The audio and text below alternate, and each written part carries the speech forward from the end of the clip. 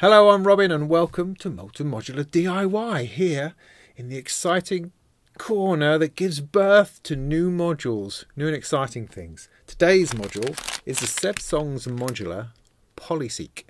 Now, it's quite possible that this is the most extraordinary and most important module I will ever build. This could be the one that totally revolutionises my approach to modular.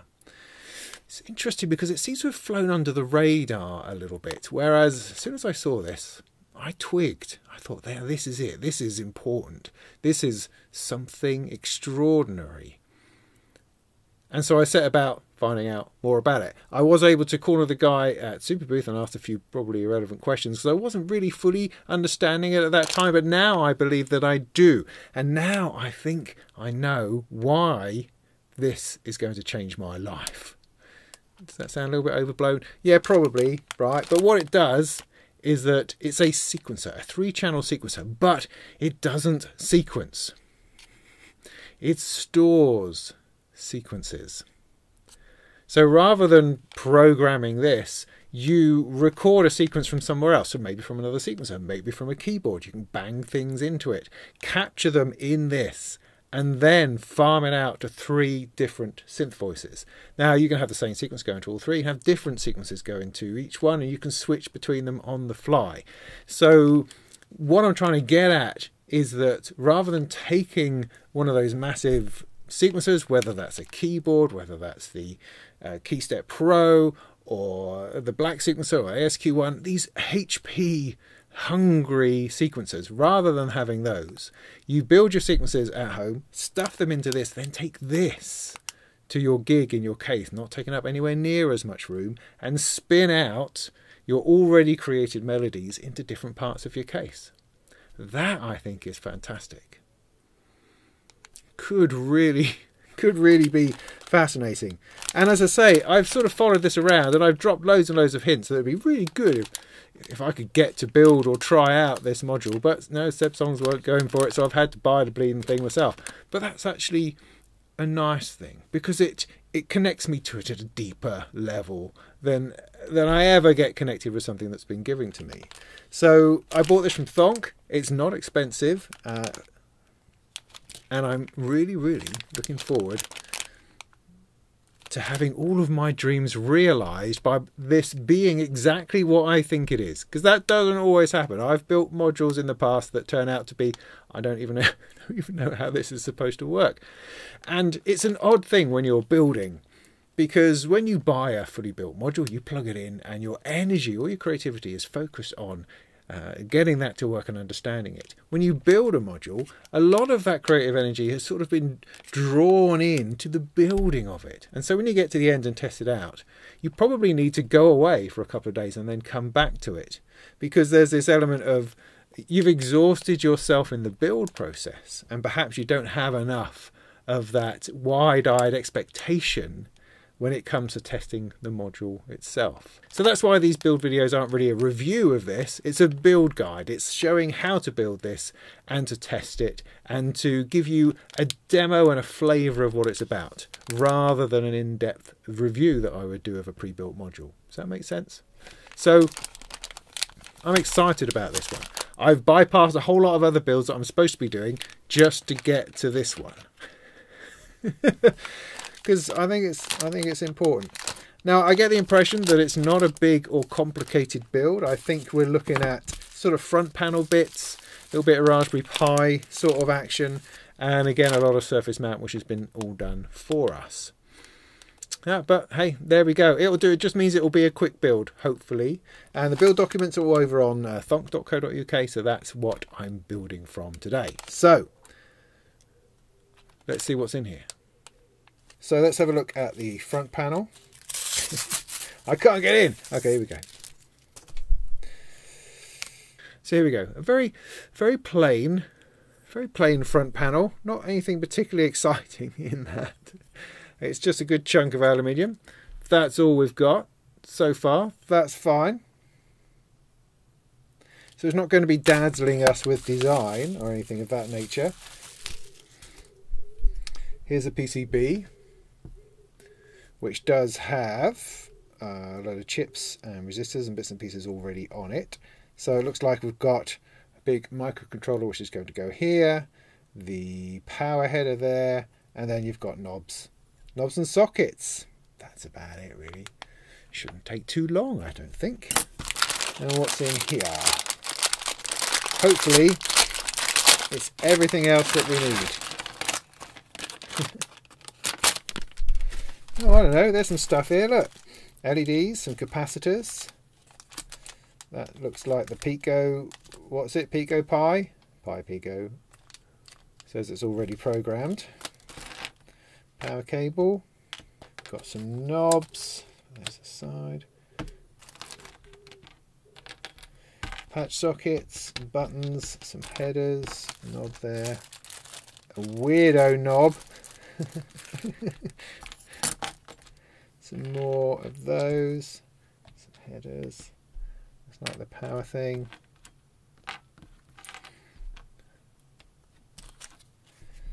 Sticker. Bits and pieces. Good. Right. Not a whole lot to do. I think we should just get stuck on in. Turn the old soldering iron on. Let's have a look at the build guide. So, first of all, let's get on with it. Got everything? Good, yes. Great. Capacitors. So, C5, C6 and C11. Now, there is a bit of materials on, on the website which you can check to make sure you have every bit. I'm just going to assume that we do. I'm going to go with it like that. Because these all seem to be about the same. There's not a whole lot of component stuff going on. It's mainly just these three capacitors and they are all the same. So we've got a nice picture of all three. Get this around the right way. So we have on the board itself got positive is labelled positive, positive, positive, and in most cases I would say the long leg on your capacitor. The long leg is positive and the short leg is negative. As we can see on the picture, you have, get this right way around, this goes positive at the top, negative at the bottom.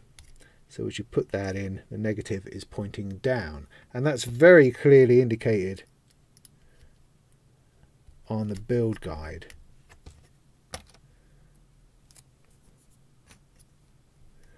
Long leg positive, very good on the silk screen too.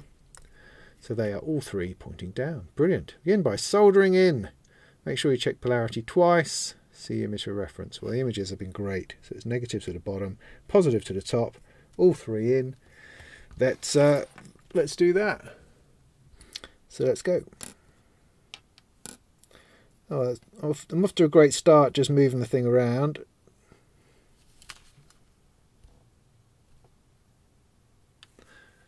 That's good. Trying to keep things under control a little bit. Completely missed.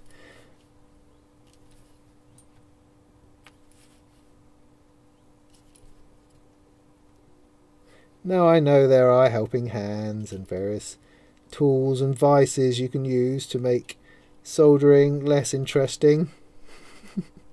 I prefer the adventure of balancing components on top of each other and trying to solder while it's under movement. That always appeals to me. There, there you go. That was easy.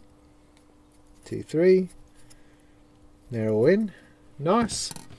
Let's cut those off.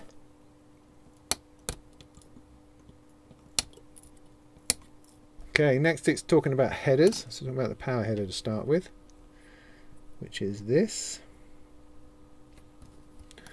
So for this, we're flipping to this side of the board. And you can see with the screen print where the hole in the thing goes.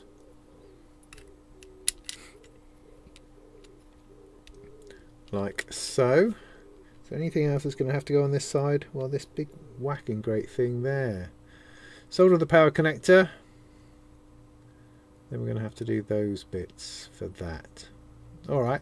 I'm going to follow the instructions rather than trying to do it all my by myself thinking that I know best. So that is definitely in the right orientation like that. Just going to turn it over and we'll try to get it flat as we solder it.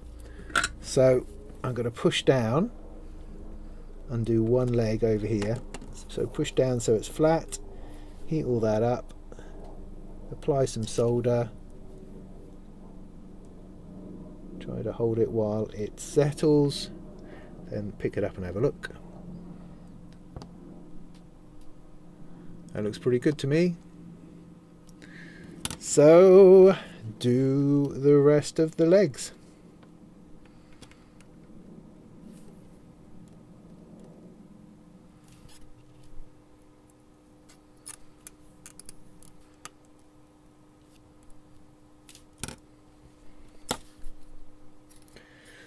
Lovely, next bit. So we've now got these headers, pokey and sockety ones. So I think the plan is to put them together. It's always hard to solder something, to solder headers and then try to get them match up afterwards. It's much better to have them matched up, soldered and then pulled apart, that makes sense. So I've got these two things here.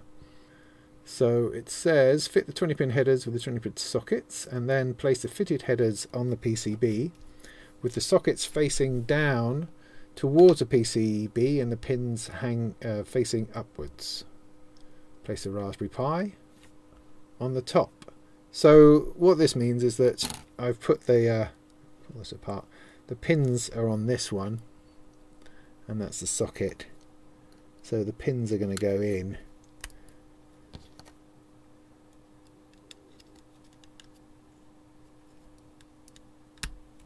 like so. And then we're going to want to place the Raspberry Pico Pi on the top. That's the fella. So this goes, it says USB here, so it goes that way around. There's a USB port. So that's going to fit on top. Like so. Beautiful. Solder all 40 joints on the Raspberry Pi Pico, then solder the headers onto the other side while it's still attached. Okay, so what we're going to do is going to solder this whole thing on and solder this whole thing on and then pull it apart. So that's a good chunk, a little bit of soldering. Maybe I'll I'll see because you just got to do it in place. There's no it's not as if it's going to be all over the place. It's fairly secure. You're not worried about it falling out. I'm not having to turn it upside down at this point. So I'm just going to do all of that. And then that's, I think that's going to be good. I think that's going to be good. Just be aware of the surface mount stuff. Don't try to uh, accidentally desolder something you're not supposed to desolder.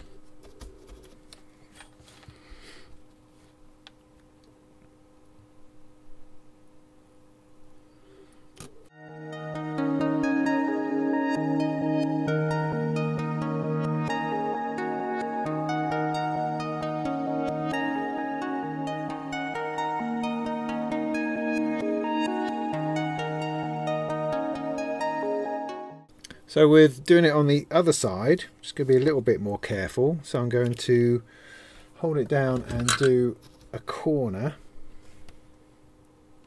Just so that's nice, nice and flat and in there.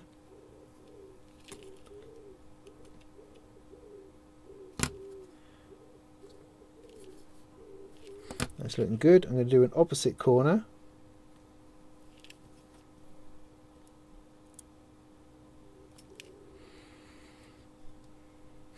That's also looking good, so I'll just run through the rest of them.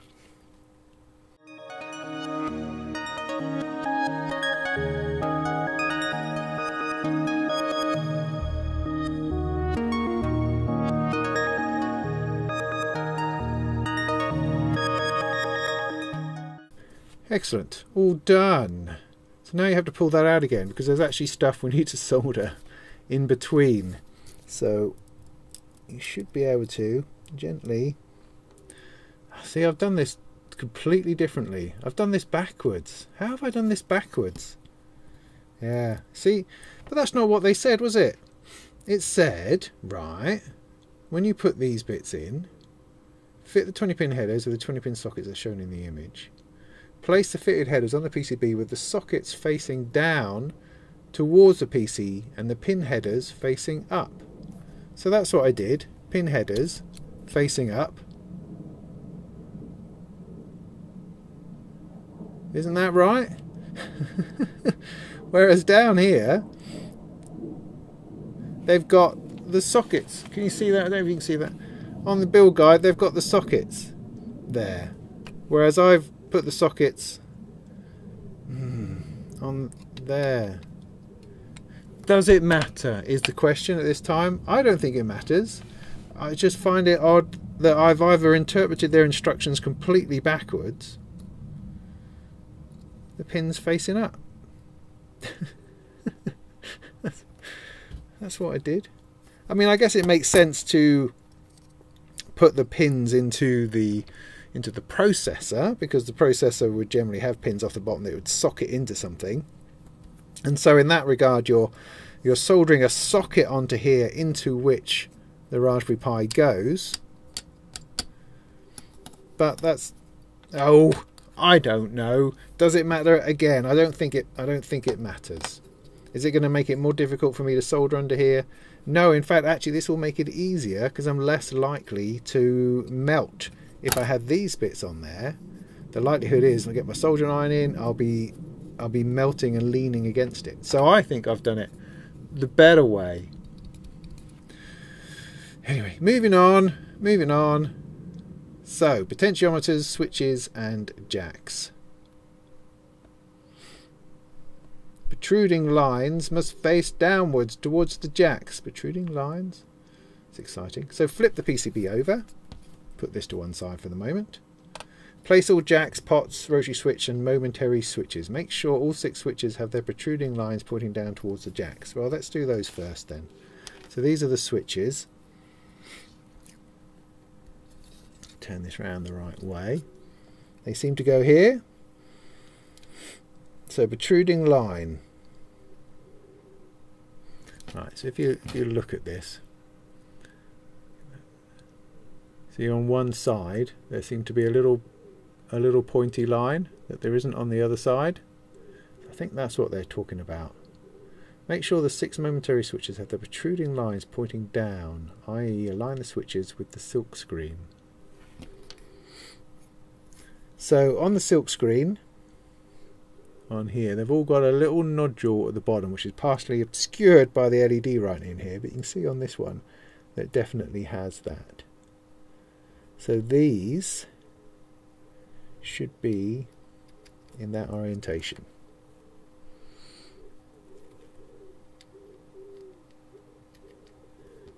With the line down. I think that's right. They could do with just a slightly angled picture just to confirm that. But yeah, that's what I believe it needs to be. So do you see that all the lines are facing down this way? all the lines on the front of those yeah that's it. That's definitely it. So big pot. Goes at the top here. Then you've got jack socket. So with these see a little twangy end there? That goes into the hole that's outside the square outside itself. That's the earth bit there. That goes in. You stick that in first push against it. The rest of it should pop in nicely. That's that got the rest of these down here. Now these all have their own twangy leg bit. Sometimes you have these on some builds that share them in the middle sort of like that. But these ones don't. They all have their own so might as well use that. Because it's a darn sight less fiddly.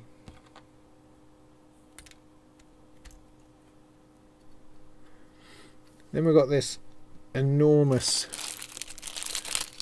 knob here, which appears, so you've got this sort of bendy bit on the front here. That appears to be pointing towards the top, so it looks like it's in that orientation. that seems to be the way.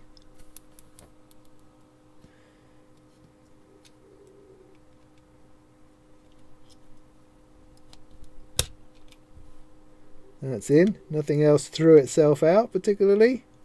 So place all jacks, potentiometers, rotary switch and momentary switches. That's what we've done.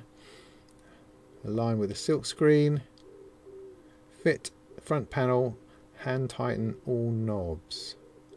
What they mean is is nuts, not knobs. But anyway, so we get our front panel,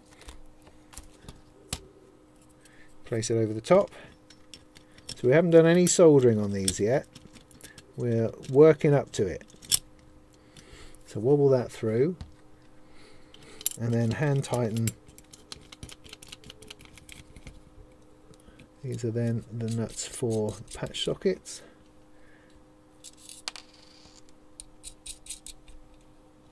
Now is this going to come off? It's probably going to come off, isn't it? Because I haven't done the LEDs. So I'm probably going to have to take all those off again, but hey, that's fine. Hand tighten, did that. Right, solder all the joints for the jacks, switches and potentiometers. Make sure to push the momentary switches against the PCB when soldering them. Okay. Against the PCB. So when you turn this over, all of those switches have now kind of disappeared. So that is a thing. Now, potentially, I could take the knobs out. And that might make this whole lot easier to solder because I'm going to have to do something big enough that to put up against that so that these that means I've got to take it all off again. Hmm. I think the best way to do this is to take these knobs out. Now the danger is, if those pots aren't in place, then the whole thing's not going to line up because they are they are very good at keeping everything in its right place. But I'm going to throw caution to the wind just a little bit. I'm still going to put these on. Right, so now if I turn this over, all of the momentary switches are now pushing through yeah? You see that? See that? See, I think that's a better idea. And I don't think that's going to cause us any unnecessary difficulty. So let's do that. Alright, made a decision. Good. Right, stick with it. What I'm not going to do, I'm not going to solder the jack sockets just yet. I'm going to do those at the same time as the as the knobs. So I'm just looking at doing the switches. I have terribly unsteady hands today.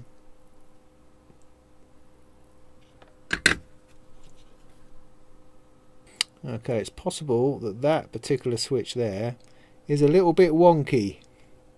That one was not pushed up perhaps as well as it could have been. Yeah, I think I've now got some trouble going on with the the location of these buttons. See, even the way that I did it, they weren't they didn't end up being completely flat. Maybe I wasn't pushing down hard enough on them. So now I've got the issue that I put that one down and it doesn't always come back out.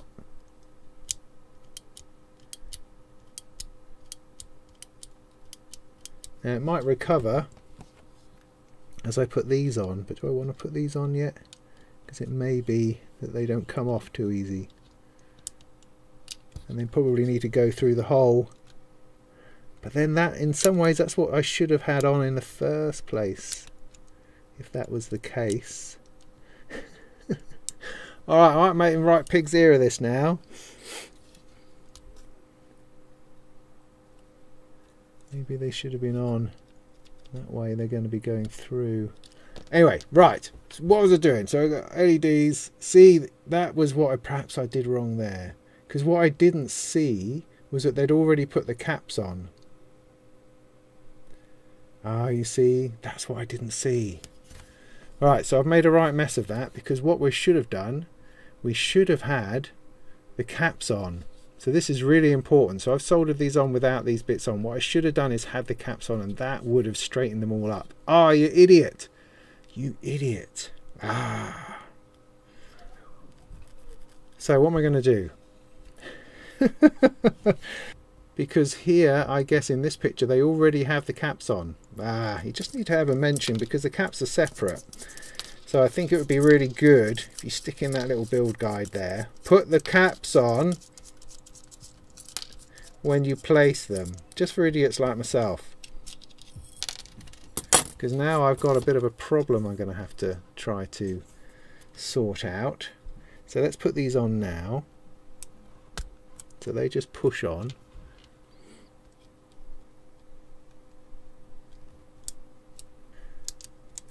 Now this doesn't negate my doing the momentary switches by themselves, which is still a good idea because the height is still a problem. But the problem that I have created for myself is that this is now not going to go on very well. Now let's see if I can fudge it, see how bad it could be. But it's applying a little bit of tension to the whole thing. Not able to get it entirely down over there. Okay, that's better. Right, well look, they're all through.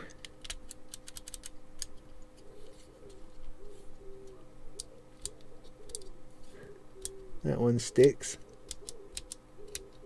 So does that one. And that one. so half of them stick. Half of them stick. That one, that one, and that one. The rest get away with it. So what I'm going to have to do, I'm going to have to suck solder off that one. That's really, this is not good. This is not good.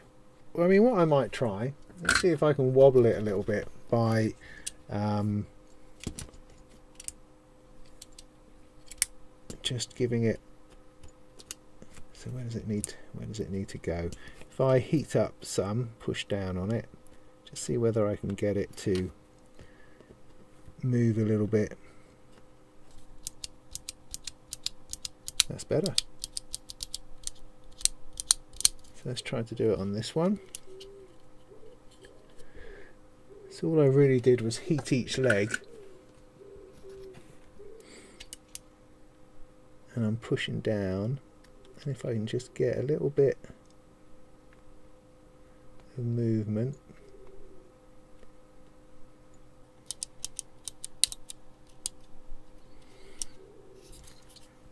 Okay so this one still not going for it.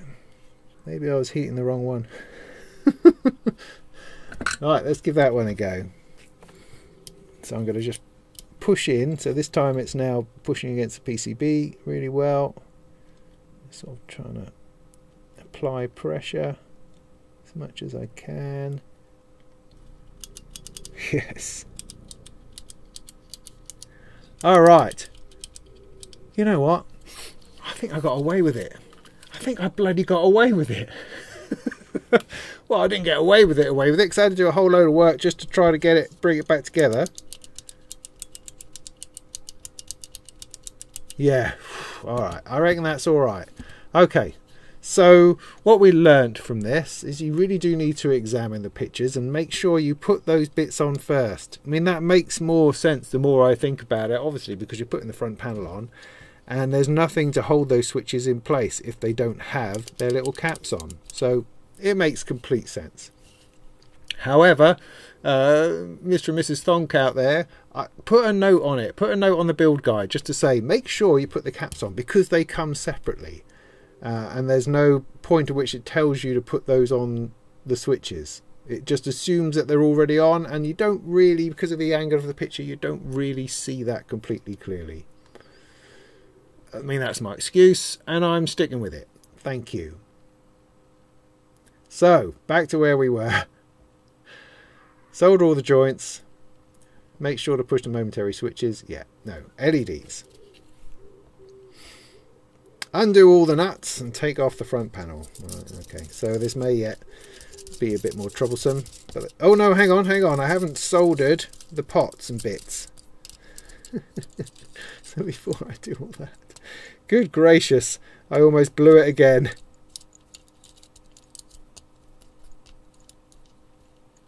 So at this point, solder all the pots and all the patch sockets. Good oh. I'll see you after.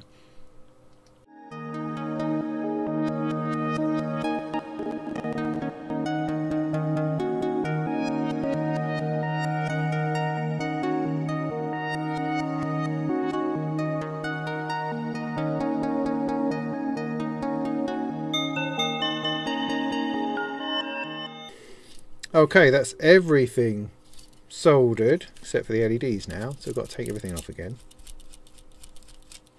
Place the right LED in its corresponding position. Colours should be fitted in the following order, top to bottom, yellow, red, green and orange. So let's get our LEDs out. So fit them in the right place, they say. So this is the front panel, this is the side they're going to go on. And I have a red, a yellow, orange and green. Four oranges. So they should go yellow, red, green. So we've got yellow, red, green here and then orange across the bottom. That seems to be the plan. So yellow at the top here. So what we're looking for is long leg positive. Just about got a long leg on that. And there's no positive mark. Darn it. Okay. So with these, uh, rather than having a positive sign next to the positive leg, they they've got a line, they've got a straight line. You see that? That there is a straight line, which should go with the straight line, the flat side on the LED. Now these LEDs don't particularly have a flat side because of the sort of ones that they are. But the flat side corresponds, generally speaking, to negative. So in which case the long leg is going to go here and the short leg is going to go on the side that has the flat bit on it. Difficult to see with the screen print and the holes going through it, but that is what I'm going to go for. Now, does this give me any more information? Yes, it does. so they've got a nice big picture here, which is brilliant, which tells you exactly what I've just said.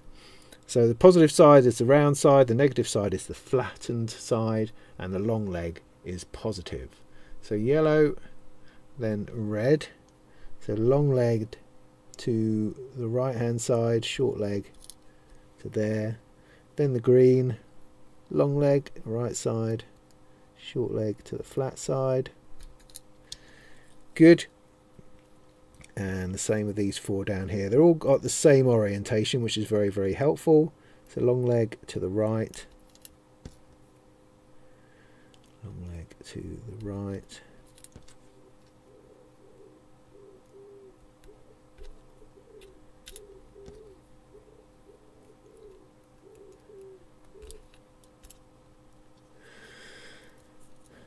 good so once those are placed, make sure I get the polarity right. Yeah, did that. Flat side, yeah. Image for reference. Fit the front panel jacks. Uh, fit the front panel to the jacks and switches and pots again. And push them out of their holes, but don't do them yet. Okay. So those are all in, which is lovely. This goes over the top. Hopefully this is the last time we're going to have to do it all up.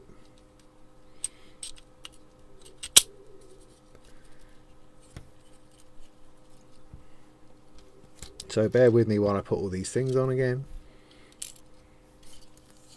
Okay, so that's the front panel back on. Now what you want to do is get all these LEDs to go sticking through their holes. So just give them a wobble and you should find that they will find, their holes.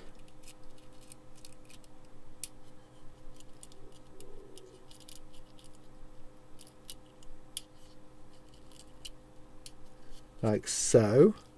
Now obviously if I turn this over to show you they're all going to fall out again but you can just about see them all poking through yeah you don't really want them poking through you want them flush that seems to be the plan so what they're suggesting is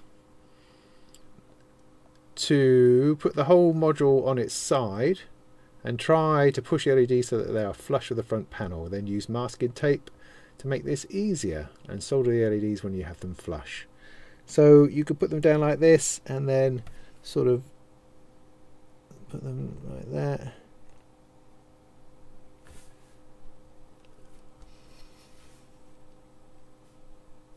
So that they're so that they're good and then solder them.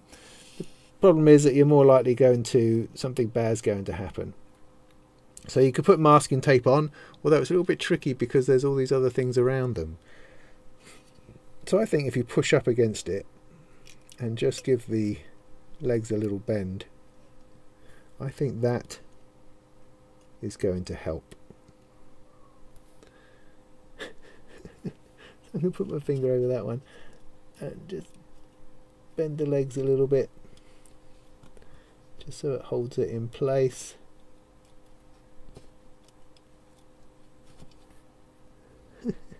I don't know. This just seems like a good idea. I'm going with it.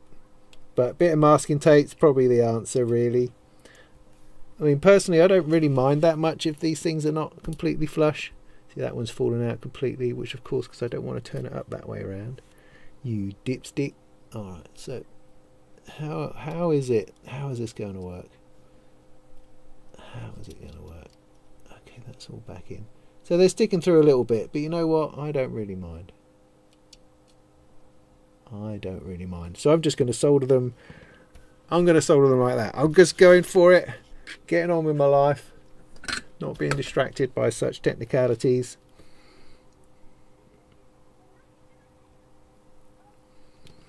And what I could do is I'm just going to solder one leg.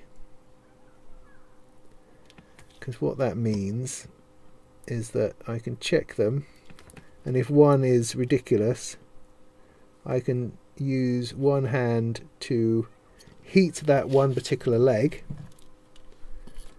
and then move it and adjust it a little bit because the solder's already on there.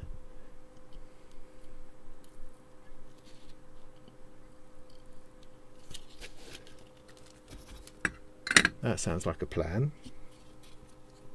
So any of them ridiculous? No, they're fine. They're a little bit protruding down here. You can see a little bit protruding, but that's all right. That's all right for me. That's good enough. I'm just going to get on with it. Part of the joy of doing DIY is that you can personalize things. You can make things more your own by the way you fudge it up as you go. So any any kind of fudging, any kind of uh, bits that you break, melt, fall off, discolor, just make it more of your own module. And that's a good thing. That's a nice thing. That's a positive thing. Splendid, splendid, splendid, splendid. Look at those. Look at those. So Mr. Pi has to go back on.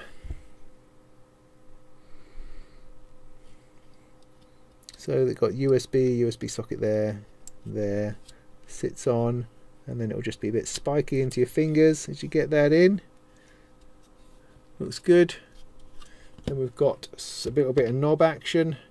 Let's tighten all the bits a little bit. I still tend to go for finger tight for most most things. It's good enough for me. So are these different? No, the knobs look the same. These are all D-type knobs.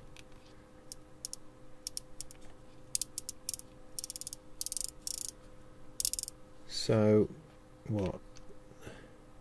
That can only go one way on. That's on one. One, eight, seven, six, five, four, three, two, one. Nothing else I need on there. No, okay. Push that on super. This one, they can only go on one way because of the... Going on? We've got tempo and swing. That's interesting. So that's going the whole way. Push that down.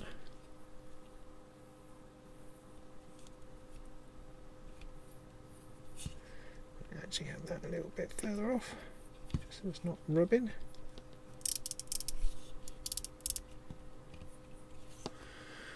Okay, so that's looking great. I mean, it's quite a simple module as it goes. There's not a whole lot to it. The depth is easy. Just got the power socket here is all it's going to need.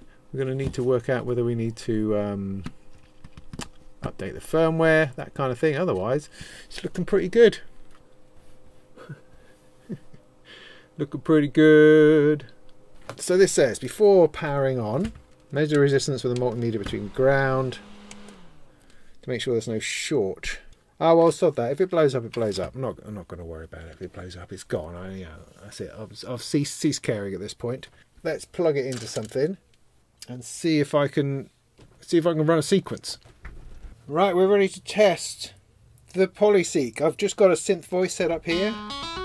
So the idea is that the Polyseq will record these notes and play them back.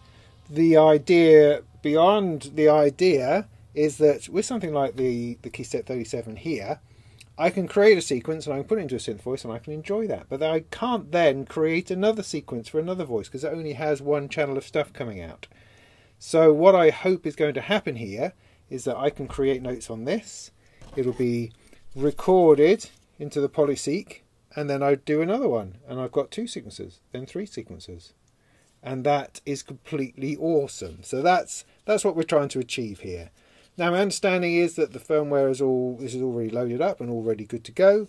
So I'm going to turn this power off. Plug this in, hopefully the right way around. And it says at first power on, hold mode and record. See that's mode. I think this is record. So I'm going to hold those two in. Do I do that? Put it down. Just looking for smoke at the moment. Mode and record. Turn it on. Got some lights. For a couple of seconds until the red record LED blinks. Well, it hasn't blinked. This is blinking. Anyway, let's let's see whether it works.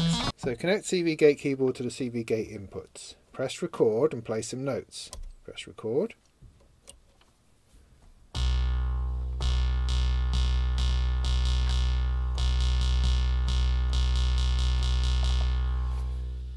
Okay, I think we can we can quite clearly see that the the pitch isn't working. The CV side isn't working. The gate side seems to be fine. I can do ties. I can do rests. That's easy. What's not happening is any kind of pitch change. Calibration. To calibrate the CV input to read Voltivox, do the following. Connect Voltivox CV gate to the CV and gate inputs. Okay. Press and hold this on power up let go and the orange switch starts. Okay, so there's some calibration that needs to be done. That's good. So let's turn this off. That would be useful to have that in the build guide, wouldn't it? Cool, heck, would it? So calibration mode. To calibrate the CV input, connect CV and gate, press and hold rest mode, power up. Let go when the orange LED is fading in and out. Okay, so this is what I had to start with. So it's possible that I started it up trying to follow the instructions and I put it in calibration mode and then screwed it up. That's completely possible. Now we're in calibration mode now that this is flashing. So it says press and hold the key corresponding to 0 volts and wait until the thing lights up. Now I don't know what that is. What's good? Now I've, I've done this before. I just can't quite remember. So let's get this thing out. So DC. So I want to attach this to there and there. So I now need to find 0 volts. There you go, is that 0 volts? In which case that should be 1 volt. Yeah, 2 volts. So the bottom octave here is 0 volts. So that's what I want. So I need to plug that back into here so press and hold 0 volts until that lights up, which it has. So that's 0, 1, 2, 3, 4, 5, 6. So that should now be 6 volts. Press that until number 2 holds up. Yeah, okay. 2 is now lit. Finally, press this to return to normal operation. So I stick it into record. It could be there.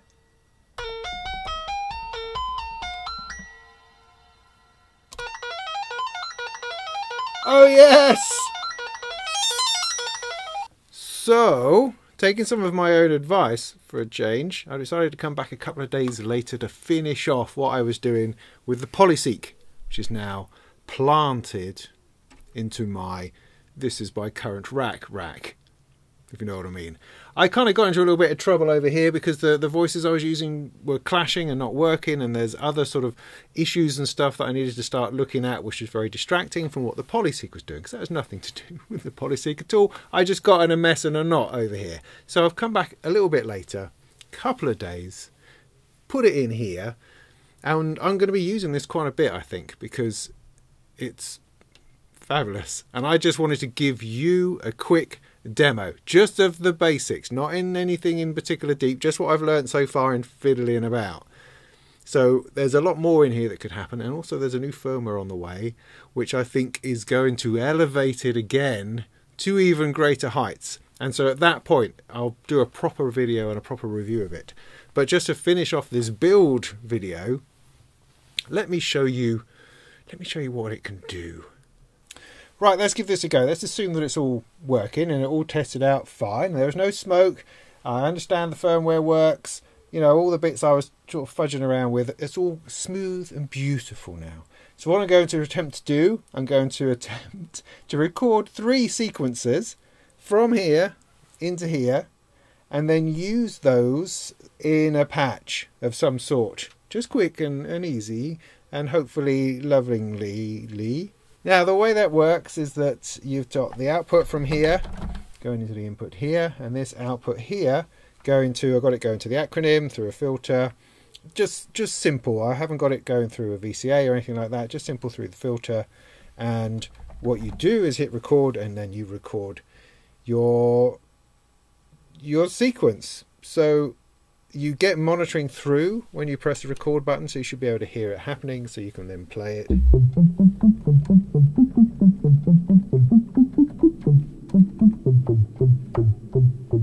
So something like that.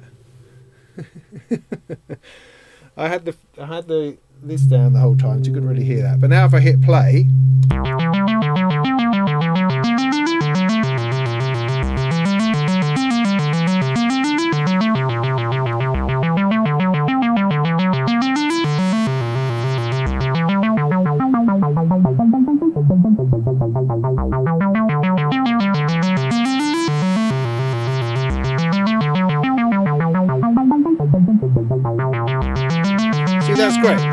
Perfect. So that sequence is now stored into memory location 1. If I go to memory 2, that's not going to make any difference at all. What I need to do is turn channel 1 into to, to point at this one. So I hold channel 1 and I give it a nudge and now that's going to be on sequence 2 which currently isn't anything. So if I press record I can now put in a sequence. So I'm going to put in something with some rests.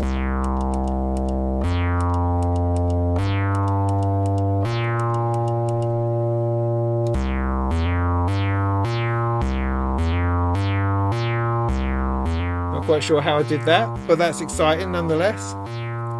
So I've now got that, and I've got this other sequence going on.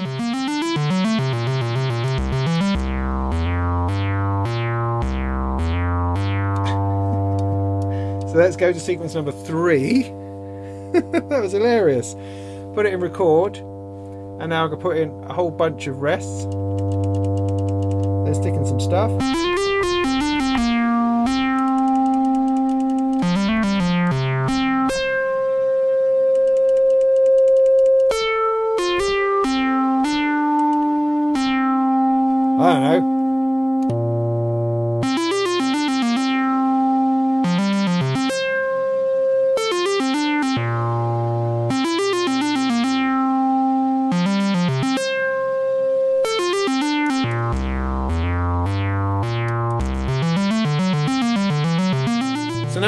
Three sequences. What I'll do is I'll allocate uh, one sequence to each channel and have three things playing. Got it? Right, so channel 1, put that onto 1. Channel 2, put that to 2. Channel 3, put that to 3. That should just work, right? So I need to patch in a couple of things. So let's go for channel 2. into the surface.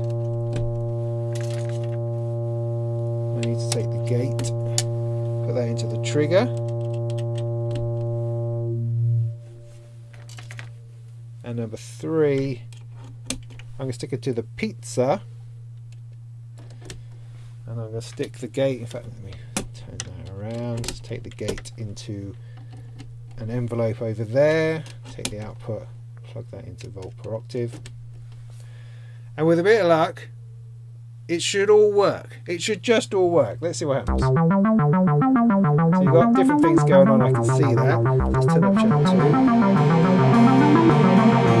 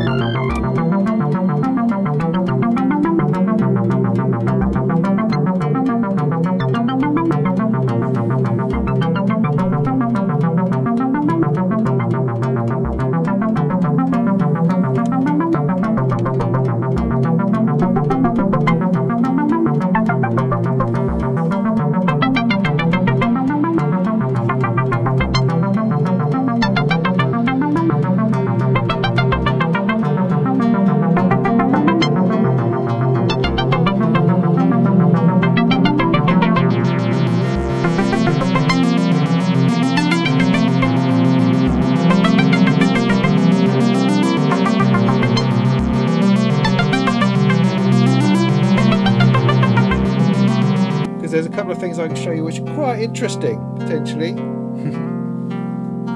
so this is on channel 2. If I press the mode button, I can change the mode of channel 2. It's now reversed.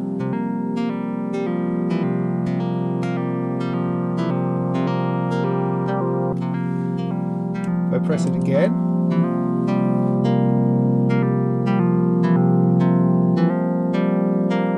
now doing like a ping pong, up and down. I press it again, it then does kind of a randomization on those notes, but the gates are different. Yeah, the gates and pitch changes seems to be divorced from each other, which is very, very interesting. So it's now kind of doing its own thing, which I like a great deal.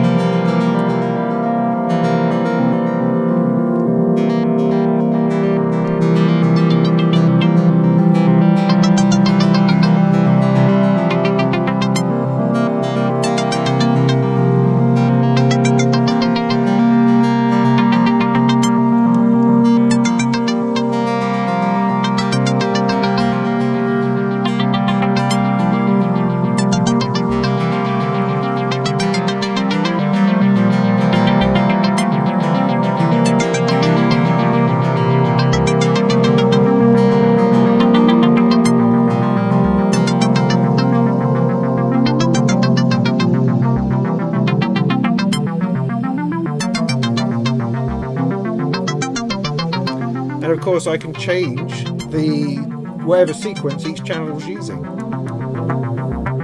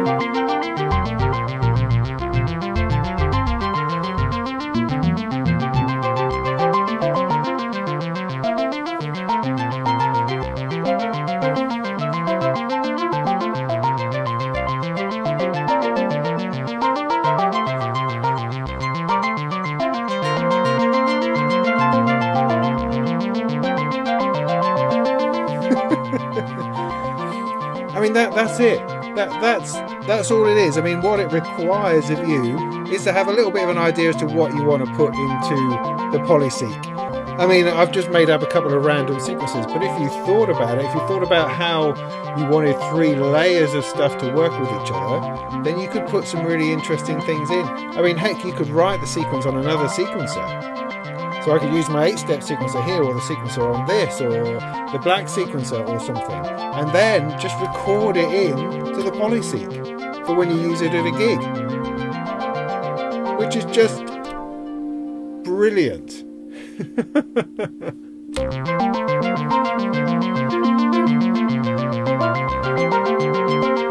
and now I've got a performative changeable sequencer without having to take a keyboard or something much more massive in order to achieve that. And you've got mutes and glides and skips and ties and rests and other modes and reversing and all sorts of interesting things in here and more things to come. So there you go. That's the Polyseq. So there you have it, the Polyseq from Sebsongs Modular. Fascinating. I, I totally love it. I'm in love with this module already. It's going to be enormously helpful. I think, I mean, I'm, I'm going to try to do a gig next week. You know, just a simple EMOM at, at Norwich, just 15 minutes worth of stuff, and I think that's going to work perfectly. Well, at least I'm going to try that out see if that works, see if that's inspirational, see if it doesn't feel pre recorded. Do you know what I mean by that? Because often I think when doing modular, you kind of feel like you need to conjure up the entire thing in the spur of the moment. When actually that's not the reality of what you do. You tend to have a lot of stuff patched and ready to go. And this is certainly going to do that. It will just feel odd not having a sequencer that I can mess with, and I'm going to have to overcome that. Or maybe I'll run a sequencer as well. I, I don't know. I don't know. Anyway, that's for another day.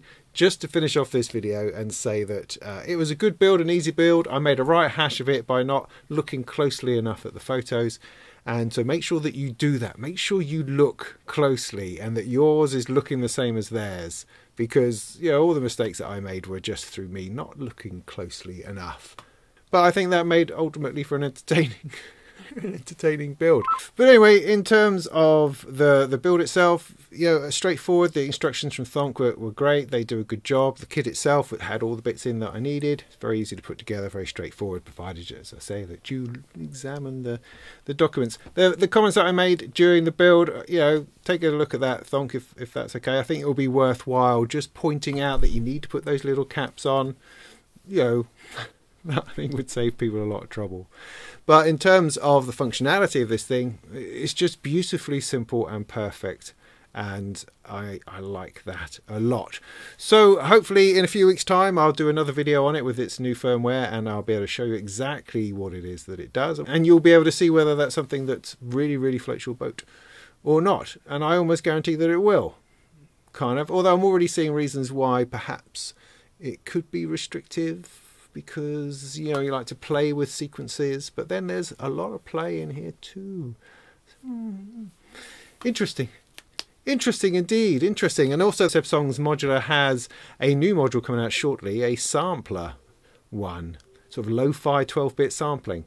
Interesting, interesting. So, I mean, it all comes down to what you can do with that, because I've tried a few sampling-based uh, modules, and they've not always lived up to what I thought they might be able to do. so it'll be interesting to see how well this one works. But based on the thought process that went into the Polyseq, then I've got high hopes for what's in their sampler module. We will see.